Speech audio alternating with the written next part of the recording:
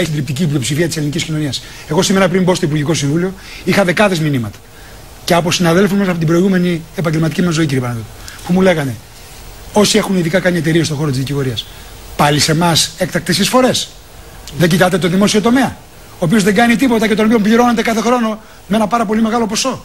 Τριπτική πλειοψηφία της ελληνικής κοινωνίας. Εγώ σήμερα πριν μπω στο Υπουργικό Συμβούλιο.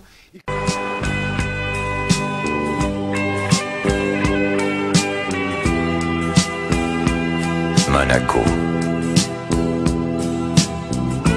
28 degrés à l'ombre. C'est fou. C'est trop. On est tout seul au monde. Tout est bleu. Tout est beau.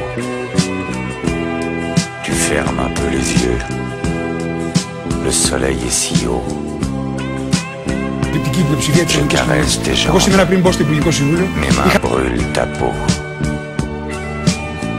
τριπτική πλειοψηφία της ελληνικής κοινωνίας. Εγώ σήμερα πριν μπω στο Υπουργικό Συμβούλιο είχα